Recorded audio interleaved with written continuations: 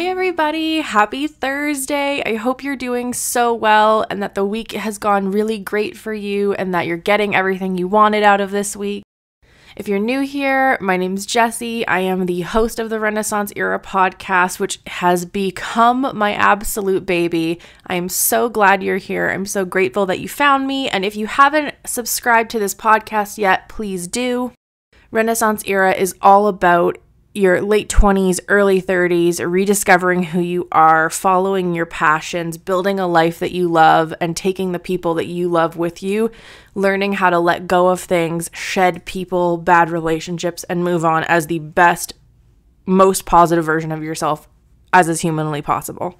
Today's going to be a little bit of a different episode just because it is the beginning of the Jewish high holidays this week. And the next two episodes are going to be more kind of food for thought. So today we're going to talk about Rosh Hashanah. If you're unfamiliar, Rosh Hashanah is the beginning of the Jewish holidays. So today, the day I'm publishing this, is September 14th, which means that Rosh Hashanah starts at sundown tomorrow, Friday, September 15th, because I'm posting this in the secular year 2023. For those of you who don't know, Rosh Hashanah is when Jews believe the universe was born. So it's the day that God created Adam and Eve. And we believe that this is the beginning of the Jewish year. So, if you don't know, Jews follow a lunar calendar, which is separate from today's secular calendar, which is Roman in origin. And it is observed on the first two days of the Jewish month of Tishrei. So, Tishrei, the first and the second.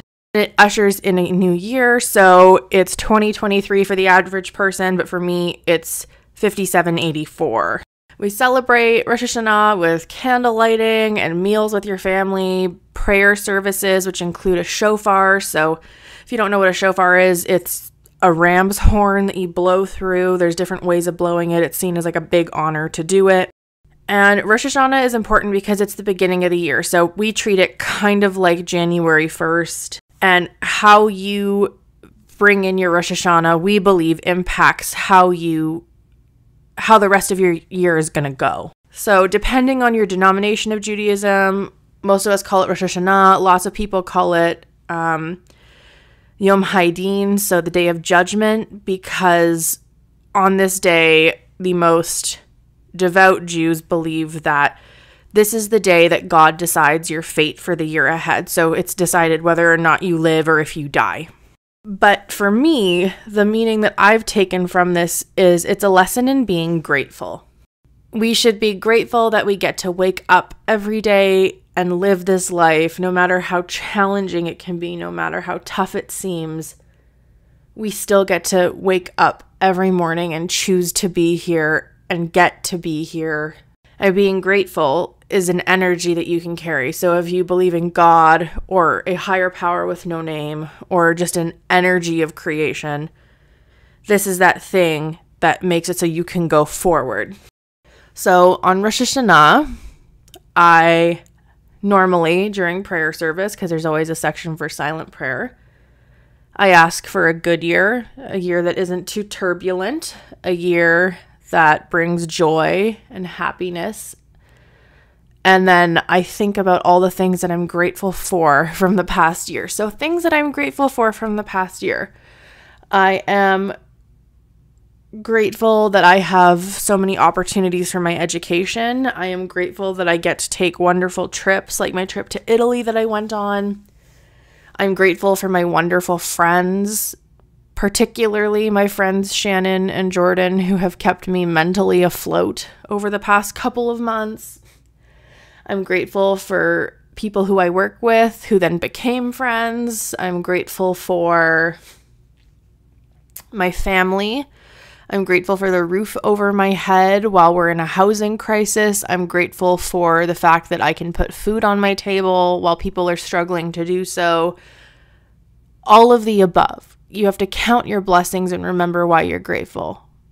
It leads to a more positive mindset. I try to practice this every day, but even if people were to just do it on this day, I believe it has an impact. It recalls, it makes you recall what good has happened to you and to focus on the positive and to try and bring more of that into your life versus the negative. I invite you to turn Rosh Hashanah into an opportunity. It is an opportunity for change and growth and gratitude, manifestation, all of that. It's a wonderful start to what's going to be, hopefully, for everyone, a really, really beautiful year. Because I'm doing things that are slightly different on this podcast, because it's going to be short, um, because it's the high holidays, I am going to finish with a poem about liturgy. So, in Judaism, this is called Ayun Tefillah. So, it's an interpretation of liturgy, and it's actually a poem so I will be reading you a poem called The Head of the Year by Marge Piercy, and I invite you to think about what it means. The moon is dark tonight, a new moon for a new year. It is hollow and hungers to be full. It is the black zero of beginning. Now you must void yourself of injuries, insults, incursions. Go with empty hands to those you have hurt and make amends. It's not too late. It is early and about to grow. Now is the time to do what you know you must and have feared to begin. Your face is dark, too, as you turn inward to face yourself, the hidden twin of all you must grow to be. Forgive the dead year. Forgive yourself. What will be wants to push through your fingers. The light you seek hides in your belly. The light you crave longs to stream from your eyes. You are the moon that will wax in new goodness.